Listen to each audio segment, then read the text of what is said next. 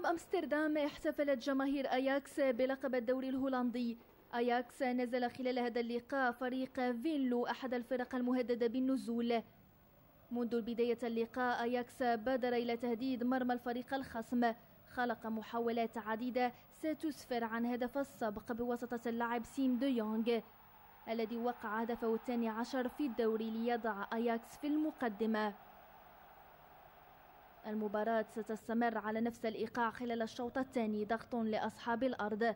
الدقيقة الستون ستعلن الهدف الثاني لأياكس. عيساتي يمرر كرة جيدة لديونغ هذا الأخير يسكن الكرة بكل برعة في الشباك.